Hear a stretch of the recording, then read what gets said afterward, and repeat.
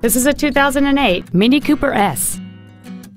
It has a 1.6 liter four cylinder engine and an automatic transmission. Its top features include a multi link rear suspension, a turbocharger, alloy wheels, and traction control and stability control systems.